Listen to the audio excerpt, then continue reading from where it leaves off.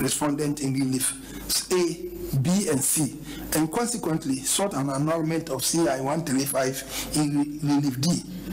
He also invited the court to injunct the second respondent from holding himself out as the president-elect on the, the account of the errors described in the declaration in his relief E for the court to and for the court to order a rerun between the petitioner and second respondent on account of the alleged effect of these errors in relief F. But as shown from the evaluations and analysis above, it was part of the petitioner's case in paragraph 6 of the petition that the first alleged error arose because of a misdescription of the number of total votes cast as total valid votes cast. The petitioner also asserted his knowledge of the total valid votes cast in paragraph 12 of his petition, and yet the petitioner is inviting the court to ignore the substantive truth of the result of the election and give him relief on the basis of the errors pointed out in his own petition. He is also inviting the court to use the mistakes he has described to tamper with the true and known result of the presidential election and the will of the people. By his relief A, it, it is only when the court opposed the error in the description of total votes cast instead of total valid votes that the declaration would be in breach of Article 63 clause 3. Again, by relief F, a B, it is when the court ignores the substantive relief of the election, re results of the election, that it could it declare that no candidate won more than 50% of the votes. The petitioner is making his claim knowing that if the court agrees, the court will essentially change the true outcome of the election. In the combined effects of relief C and F, the petitioner is asking this court to find the oral declaration made on 9 December 2020 to be unconstitutional, null and void, and yet for this court to use void declaration to change the result of the election by ordering a rerun between the two leading candidates. These are submissions that must not appeal to any court of justice, equity, and good conscience. Issue 5, the alleged vote padding.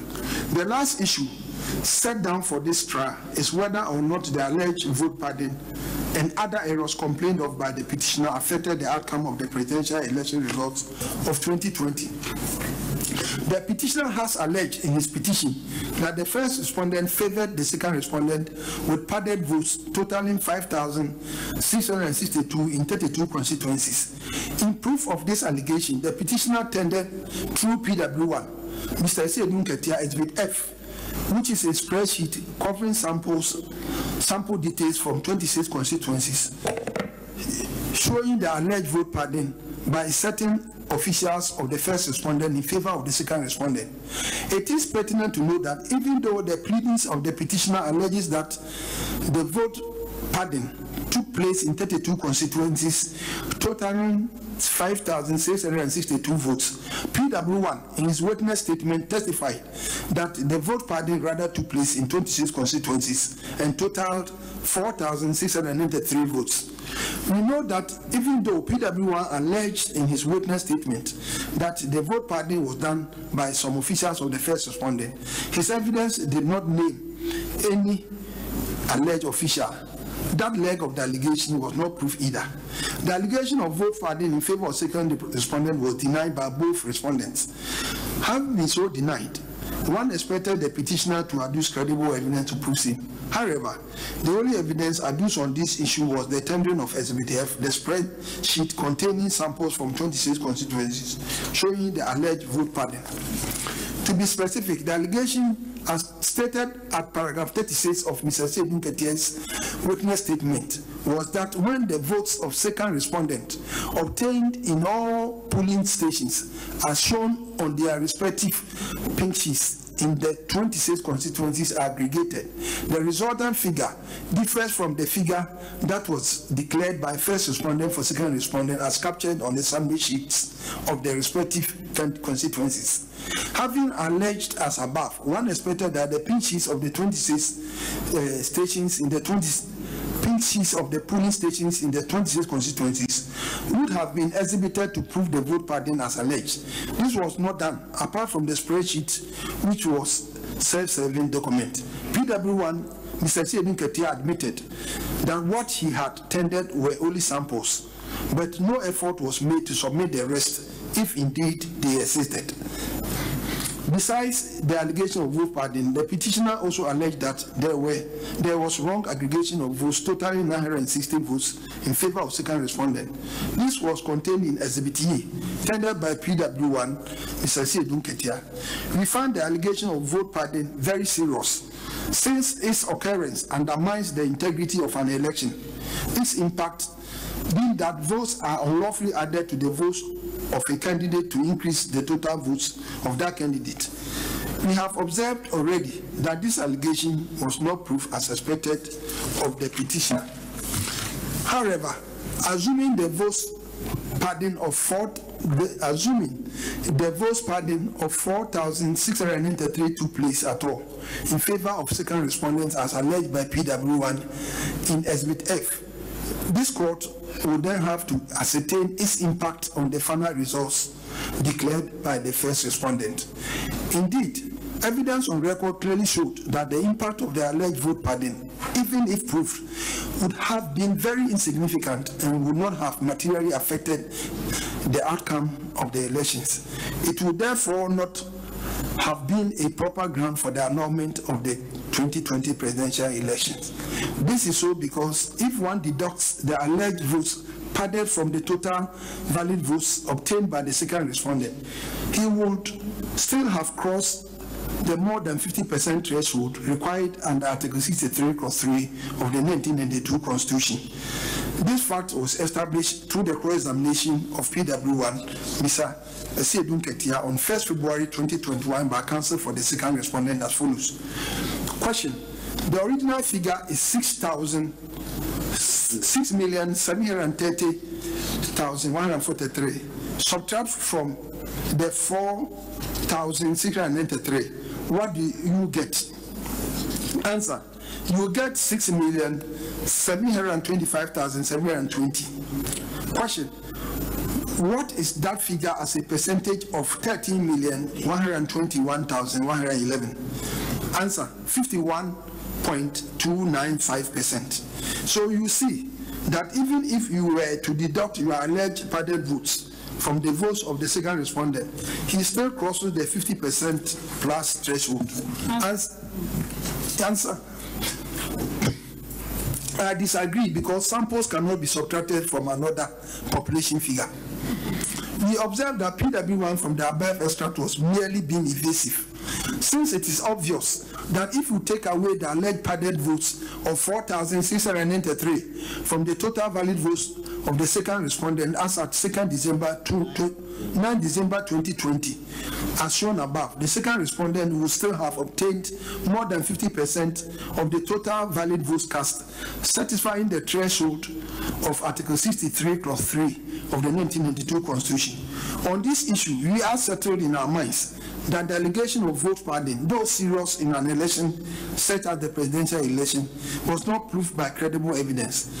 Furthermore, even if the vote padding took place, same was not material or substantial to change the final results, so declared by the chairperson of the first respondent.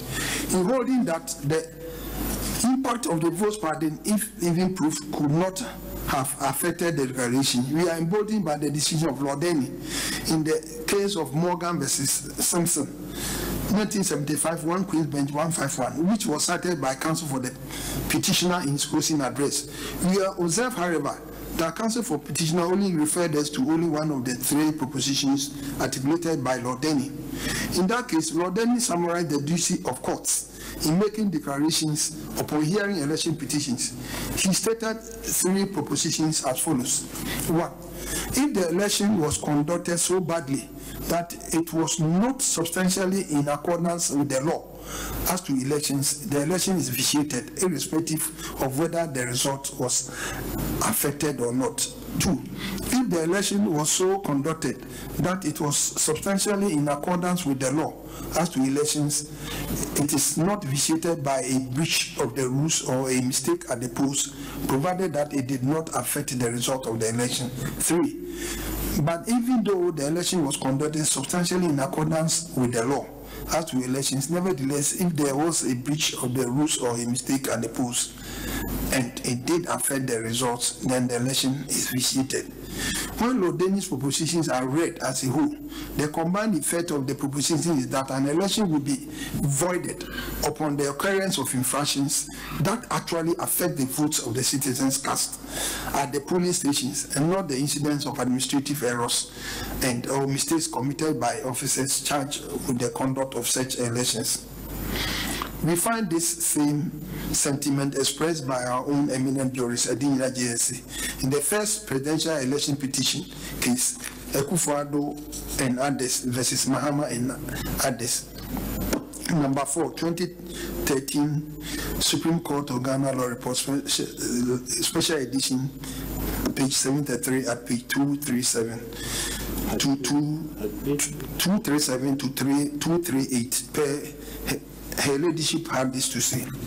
Quote, courts usually apply the election code to protect, not to defeat the right to vote. Public policy favors salvaging the election and giving effect to the voters' intent, if possible. The right to vote is at the core of our democratic dispensation, a principle I've affirmed in this opinion with reference to the Tehn-Addy and Ahumah Ocansey line of cases. End of quote. Conclusion.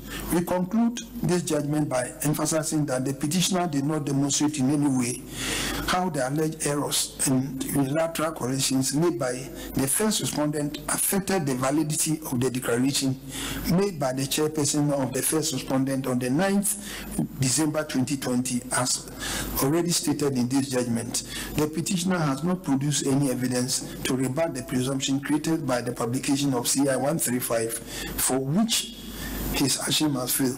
We have therefore no reason to order a rerun as prayed by the petitioner as in relief F. We accordingly dismiss the petition as having no merit. As the court pleases. My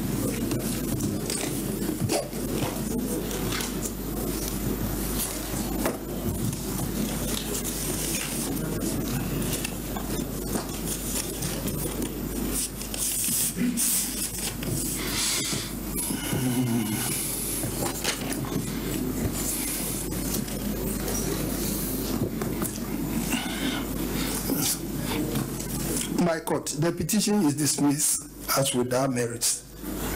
We make no order as to cause.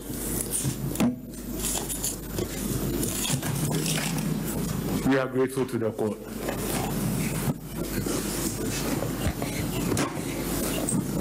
My Lord, we are most grateful for the lucid judgment of the court.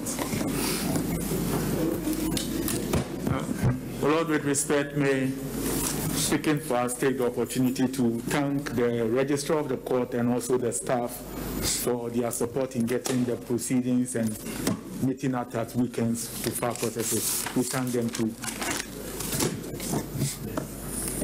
I, I just have one comment. I'm surprised that uh, for the various teams, um, your frontline staff uh, did not include any woman. Um, Both the petitioner, the first respondent, the second respondent, your frontline legal representation did not include any woman, but there are ladies at the bar. And every effort should be encouraged. No, frontline, there are four. Frontline. Order in court, please. Order. Is there any reason somebody like Sheila Minkah-Premo and former Attorney General uh, Iddrisu should be able to um, explain why um, this thing should be encouraged in this day and age? My, my Lord, if I may, Ah, okay, but if your lordships will recall, Front line, front line. you are four. if your lordships will recall, on the first day, we proceeded to announce